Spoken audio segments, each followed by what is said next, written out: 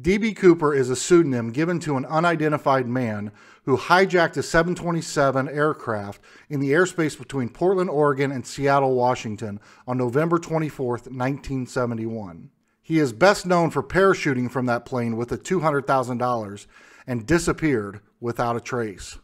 Despite extensive investigations by the FBI and numerous theories proposed by experts and amateur sleuths, the true identity and fate of D.B. Cooper remains unknown. The case is one of the most famous unsolved mysteries in the United States.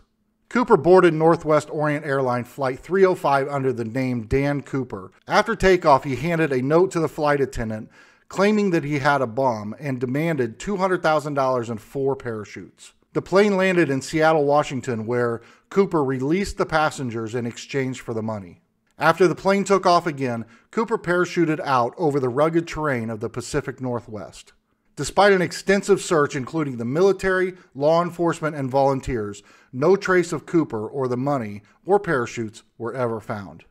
The FBI conducted one of the largest and most intensive investigations in its history, interviewing hundreds of suspects and pursuing numerous leads.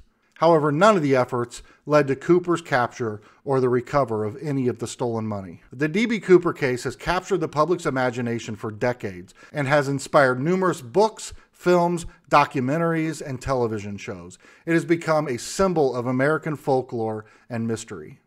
In 1980, a young boy discovered a rotting package containing $5,800 of the ransom money along the Columbia River in Washington. However, the rest of the money and Cooper's fate remains a mystery. Over the years, countless theories have emerged about D.B. Cooper's identity and what happened to him after he parachuted from the plane. Some believe that he died from the jump, while others believe he survived and managed to escape and disappear successfully. The legend of D.B. Cooper continues to fascinate people, and the case remains an enduring mystery that has puzzled investigators and sparked the imaginations of countless people.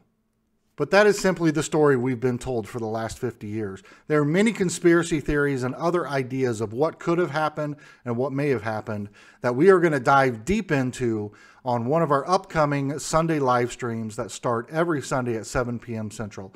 If you are fascinated by the DB Cooper story like I am, then join us where we're going to dive deep down the rabbit hole and talk all things DB Cooper. What's the real story? What are they keeping from us? Can't wait to get into it. And we cover that on our Sunday live streams every Sunday, 7 p.m. Central.